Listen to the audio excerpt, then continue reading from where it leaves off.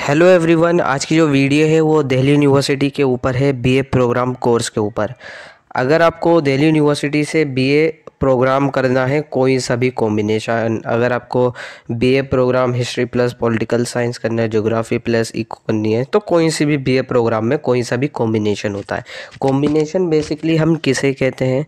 Combination का मतलब होता है जैसे बीए पॉलिटिकल प्लस हिस्ट्री तो पॉलिटिकल और हिस्ट्री आपका एक कॉम्बिनेशन है।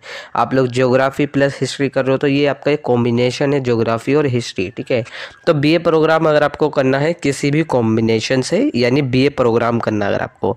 तो सबसे पहली चीज़ एलिजिबिलिटी क्राइटेरिया की बात करूँगा मैं, और ये लिस्ट बी वन और बी टू है कैसे एक्सप्लेन करने वाला हूँ जो दिल्ली यूनिवर्सिटी की लिस्ट है। और सी में आपको कौन से सब्जेक्ट यानी किस सब्जेक्ट का एग्ज़ाम देकर आना है? क्योंकि अगर आपने सी के अंदर गलत सब्जेक्ट का एग्ज़ाम देकर आ जाते हो तो आपका एडमिशन नहीं होगा। मैं क्लियरली बता रहा हूँ, देखो एन टी का काम सिर्फ़ एग्ज़ाम कंडक्ट करवाना है, ये मैं हर वीडियो में बोलता हूँ। इसलिए बोलता हूँ ताकि आपको समझ में आए।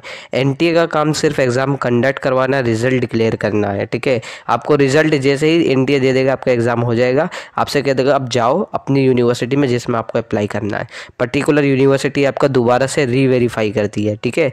तो ये चीज़ ध्यान रखनी है आपको। आप लोगों को पता होगा एन ने आपसे कोई बहुत ज़्यादा डॉक्यूमेंट नहीं मांगे। क्यों नहीं मांगे? क्योंकि एन का काम सिर्फ़ ये है एग्ज़ाम को कंडक्ट करवाना।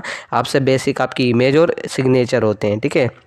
वो इसीलिए मांगे जाते हैं ताकि आप लोग सेंटर में जाओगे एग्ज़ाम देने तो वो एक बार रीवेरीफाई कर सके। बाकी जो आपके डॉक्यूमेंट होते हैं ना मार्कशीट और बहुत सारी चीज़ें होती है, वो बाद में ही आपसे मंगवाया जाता है। यूनिवर्सिटी जब आपसे फिल करवाती है तो जब यूनिवर्सिटी आपसे मांगती है। तो यहाँ पर दिल्ली यूनिवर्सिटी की दो लिस्ट है। पहली है लिस्ट ए तो लिस्ट ए हम किसे कहते हैं? लैंग्वेज सेक्शन है। और ये जो है सभी के सभी लैंग्वेज है तो इसमें कोई डाउट नहीं है। आप लोग कोई सा भी एग्ज़ाम देकर आते हो तो ठीक है। लेकिन ध्यान रखना, आपको इन्हीं लिस्ट में से जो लिस्ट ए है, बहुत सारी लैंग्वेज है। इनका जब आप एग्ज़ाम दोगे तो वो सब्जेक्ट आपके पास क्लास ट्वेल्थ में होना चाहिए, ठीक है? अगर आपने हिंदी का एग्ज़ाम देकर आ गए और हिंदी आपके पास क्लास ट्वेल्थ में नहीं थी, और आप सीयूटी के अंदर देकर आ जाते हो एग्ज़ाम ठीक है? क्योंकि एन का काम तो एग्ज़ाम कंडक्ट करवाना है। तो आपको हिंदी का देकर आ जाओगे, कोई इशू नहीं है। लेकिन जब आपका दिल्ली यूनिवर्सिटी में एडमिशन होगा तो आपका जो है फॉर्म रिजेक्ट कर दिया जाएगा। ये कहते हुए कि आपने हिंदी जो है क्लास ट्वेल्थ में नहीं पढ़ी थी। तो ये ध्यान रखना, वही लैंग्वेज आपको देकर आनी जो आपने क्लास ट्वेल्थ में पढ़ी थी। तो यहाँ पे मैं नीचे आता हूँ, ये लिस्ट ए है और ये जो है लिस्ट आपकी बी वन और बी टू है। आप लोग यहाँ पे देख रहे हो ना, ये बी वन लिस्ट है। आप लोग यहाँ से देख भी रहे हो बी वन बी वन में अट्ठारह सब्जेक्ट हैं और ये जो आपकी लिस्ट है, ये बी टू की लिस्ट है, ठीक है? ये बी टू की लिस्ट है जहाँ पे आपके नौ सब्जेक्ट मैंशन है। अब यहाँ पे ये है क्या, मैं आगे एक्सप्लेन करता हूँ। नीचे आओगे बी प्रोग्राम का जो कॉम्बिनेशन है, वो ये है पूरा। पहली बात तो बीए प्रोग्राम में दो कॉम्बिनेशन है, एक जनरल टेस्ट का और एक नॉन जनरल टेस्ट का। कॉम्बिनेशन वन या तो कॉम्बिनेशन टू कोई सा भी आप लोग फॉलो करो। ज़रूरी नहीं है कि दोनों कॉम्बिनेशन आपको फॉलो करने हैं। पहला कॉम्बिनेशन है, आप लोगों को कोई एक लैंग्वेज देकर आनी है। लैंग्वेज देकर आनी है हिस्ट्री का, ओ मतलब हिंदी है इंग्लिश है, ठीक है? पर्शियन है, उर्दू है, संस्कृत है तो कोई सी भी लैंग्वेज देकर आ सकते हो जो मैंने ऊपर लिस्ट दे रखी है। वीडियो में वीडियो बैक कर सकते हो, आपको पता चल जाएगा कौन सी लिस्ट मैंने बता रखी है। दूसरा है एनी टू सब्जेक्ट जो है आपको लिस्ट बी वन से उठाने तो ये जो आप लोग बी वन की जो लिस्ट देख रहे हो ना, ये पूरी लिस्ट है बी वन की, अट्ठारह सब्जेक्ट की। तो इनमें से कोई आपको दो सब्जेक्ट सी के अंदर देकर आने हैं, यानी एक लैंग्वेज और दो सब्जेक्ट यहाँ से बी वन से देकर आने हैं। अब ये ध्यान रखना, जो बी वन से जो आप सब्जेक्ट चूज़ करोगे, वो आपके पास क्लास ट्वेल्थ में होने चाहिए। यानी आप जो भी सीयूटी के अंदर एग्ज़ाम देकर आते हो, जिस सब्जेक्ट का, वो क्लास ट्वेल्थ में आपके पास पढ़ा होना चाहिए। आपने क्लास ट्वेल्थ में वो सब्जेक्ट नहीं पढ़ा था आपका दिल्ली यूनिवर्सिटी फॉर्म रिजेक्ट कर देगा, जब आप पर्टिकुलर अप्लाई करोगे दिल्ली यूनिवर्सिटी के लिए। ये रिज़ल्ट के बाद होगी सारी चीज़ें। आप लोग इसलिए कह रहे हो कि गलती मत करना। अब फॉर एग्ज़ाम्पल आपके पास क्लास ट्वेल्व में हिस्ट्री थी और साइकोलॉजी थी तो आप हिस्ट्री और साइकोलॉजी का ही एग्ज़ाम देकर आ पाओगे, ठीक है? और अगर आपके पास ज्योग्राफी थी और हिस्ट्री थी तो आप जोग्राफ़ी हिस्ट्री का एग्ज़ाम देकर आओगे। अगर आप साइंस बैकग्राउंड के स्टूडेंट थे तो आपको साइंस के ही सब्जेक्ट देकर आने ठीक है? ये, ये मत सोचो कि मैं बी प्रोग्राम करूँगा तो मैं कोई से भी जिस डोमेन में जाना चाहता हूँ उस डोमेन का पेपर देकर आ जाऊँ। ऐसा मत करना ठीक है? तो आपने जो क्लास ट्वेल्व में सब्जेक्ट पढ़े उन्हीं का एग्ज़ाम देकर आना है। दूसरे और बाकी आगे यहाँ पे एनी वन सब्जेक्ट आपको जो है बी या बी किसी से भी चूज़ कर लो या तो देखो तीनों सब्जेक्ट आप लोग यहाँ से चूज़ कर लो बी से ठीक है? या फिर आप लोग क्या कर सकते हो बी वन से तो दो सब्जेक्ट चूज़ करना कंपलसरी है तीसरा सब्जेक्ट यहाँ पे यहाँ से चूज़ कर सकते हो तीसरा सब्जेक्ट ठीक है? जो बी टू है।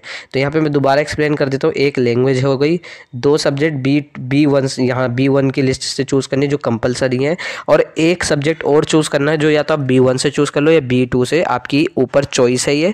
अगर आप बी वन से चॉइस कर लेते हो तो कोई इशू नहीं है बी टू से भी चॉइस कर लेते हो तो भी कोई इशू नहीं है।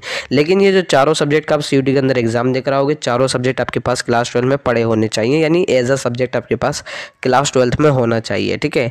आगे मैं बात करता हूँ बाकी दूसरा कॉम्बिनेशन तो ये था हमारा पहला कॉम्बिनेशन दूसरा कॉम्बिनेशन जो बहुत बड़ा इशू आता है जनरल टेस्ट का, जो मैं अभी एक्सप्लेन करता हूँ यहाँ पे दूसरा कॉम्बिनेशन की अगर मैं बात करूँ तो दूसरे कॉम्बिनेशन में सेम चीज़ है। आपको एक लैंग्वेज देकर आनी है, हिंदी, इंग्लिश, पर्शियन, जो भी आपको चॉइस है, ठीक है? वो क्लास ट्वेल्व में आपके पास होना चाहिए। अब यहाँ पे आप लोगों का एक सब्जेक्ट जो है, यहाँ पे लिखा है इन वन सब्जेक्ट फ्रॉम इधर लिस्ट बी वन और बी टू तो या तो बी वन या बी टू यानी जो टोटल आपके सत्ताईस डोमेन सब्जेक्ट है ना, उनमें से किसी भी एक सब्जेक्ट का आप लोगों को सीयूटी के अंदर एग्ज़ाम देना तो एक डोमेन आपका एक लैंग्वेज हो गई, एक डोमेन में आपकी एक डोमेन हो गया जो list B one B two किसी से भी होना चाहिए। और सेक्शन थ्री आपका जनरल टेस्ट है, ठीक है? तो आप लोग जीटी का एग्ज़ाम देकर आओगे जनरल टेस्ट का एग्ज़ाम देकर आओगे। तो अगर आप लोग ऊपर वाले कॉम्बिनेशन को फॉलो करते हो बीए प्रोग्राम के अंदर तो आपको चार सब्जेक्ट देने हैं। और नीचे वाले कॉम्बिनेशन को फॉलो करते हो तो आपको तीन सब्जेक्ट देने हैं। अब एक और क्वेरी आएगी कि भैया जनरल टेस्ट जो है, हम लोगों के पास क्लास ट्वेल्थ में नहीं होता। देखो एक कॉमन सी चीज़ है जनरल टेस्ट कोई सब्जेक्ट नहीं होता है, ठीक है? ये कोई सब्जेक्ट नहीं होता, ये जनरल टेस्ट नॉर्मल होता है, ठीक है? तो ये सोचो कि जनरल टेस्ट मैंने क्या क्लास ट्वेल्व में पढ़ा होना चाहिए, जो लास्ट ईयर काफ़ी बच्चे पूछ रहे थे तो ऐसा नहीं होता जनरल टेस्ट सिर्फ़ जनरल टेस्ट है तो ये आपके पास क्लास ट्वेल्थ में नहीं होता है, ठीक है? लेकिन आप लोग ये ध्यान रखना, आप जो लैंग्वेज चूज़ करोगे और जो आप लोग एक सब्जेक्ट डोमेन चूज़ करोगे, वो आपके पास क्लास ट्वेल्थ में होना अनिवार्य है, आपने पढ़ा होना चाहिए, ठीक है? तो यही सारी चीज़ें आप लोग ध्यान रखनी है आपको। बाकी आप लोग सीयूटी की बुक भी परचेज़ कर सकते हो। सीयूटी की ऑलरेडी बुक आ चुकी है लिंक आपको पिन कमेंट में डिस्क्रिप्शन बॉक्स में आपको लिंक भी मिल जाएगा तो आप जाके परचेज़ कर सकते हो, ठीक है? बाकी आप लोगों की यही चीज़ें हैं, बाकी अगर आप लोगों की कोई क्वेरी है तो आप मुझे इंस्टा पे मैसेज कर सकते हो, ये व्हाट्सएप पे मैसेज कर सकते हो, आपको समझ में नहीं आ रहा तो आप मुझे ये बता दो कि आपके पास क्लास ट्वेल्थ में कौन कौन से सब्जेक्ट है तो मैं आपको एक्सप्लेन कर दूँगा, ठीक है? तो यही सारी चीज़ें लिंक व्हाट्सएप लिंक बुक का लिंक सभी चीज़ों का लिंक मैंने डिस्क्रिप्शन बॉक्स में दे रखा है।